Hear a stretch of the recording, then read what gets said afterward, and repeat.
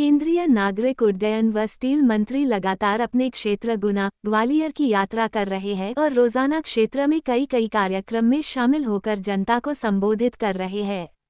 आज गुना लोकसभा के मुंगावली में उनका अलग रूप देखने को मिला, जहाँ वो एक कार्यक्रम में दूसरे में जा रहे थे। अचानक व्यस्त सड़क पर अपना काफिला रुकवाकर गाड़ी से बाहर निकल, वहाँ बाज़ार में अपने सामान को बेचने वाले छोटे दुकानदार जो रेड़ी पर सब्ज़ी फल व अन्य सामान बेच रहे थे उनसे उन्होंने बात की, उनका हाल समाचार व उनके दैनिक समस्याओं को सुना। केंद्रीय मंत्री ने इन छोटे व्यापारियों के लिए प्रधानमंत्री नरेंद्र मोदी जी द्वारा सृजित एवं शुरू की गई कई योजनाओं को जानकारी दी व मुद्रा लोन व पीएम स्वनिधि योजना का फ़ायदा लेकर बिना गारंटी लोन प्राप्त करने के लिए प्रेरित किया।